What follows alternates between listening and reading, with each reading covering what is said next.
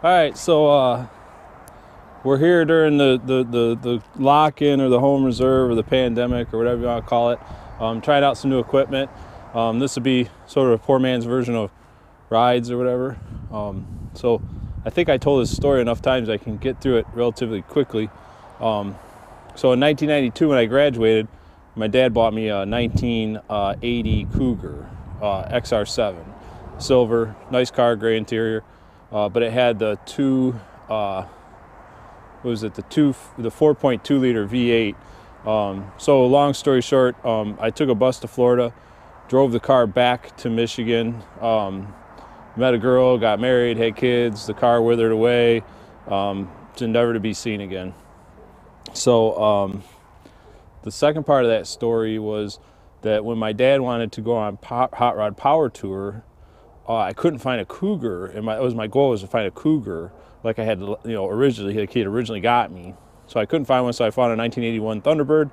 Um, went, picked it up in a snowstorm, brought it back, um, put it all on YouTube uh, for power tour, getting the car, uh, doing the, um, you know, fixing it up, and then every day on power tour we did a video vlog um, that you can find on my YouTube channel. And then uh, when it was all said and done, um, I decided to sell the car uh, for a couple of reasons. Um, one, it needed a little bit of work. The transmission was leaking. Um, it was real rusty um, in the fenders and the bottom of the doors were rusty. Quarters were starting to rust through. Um, and the main thing was I always wanted a Cougar. So um, got rid of that, uh, sold that for, for 3K. Um, so then the third part of the story is that I looked all over the country for a Cougar and I found this one down in Orlando, Florida. Uh, so on Thanksgiving Day, me and my 15 year old son flew out, um, to, got to Orlando late at night. A friend gave us a ride, put it all on YouTube, um, took us to the car.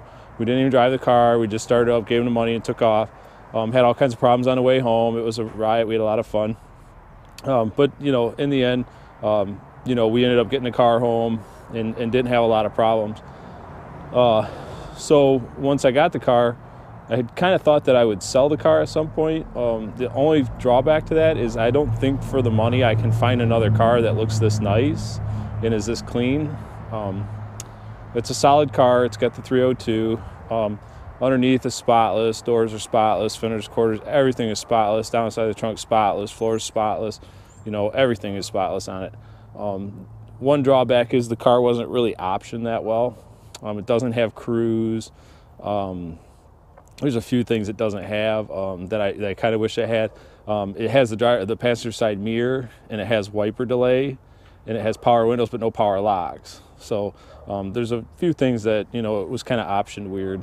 So, anyways, um, we'll kind of do like a little walk around of the car and um, give me something to edit and give me something to do and try out my new equipment, and uh, we'll you know see what happens.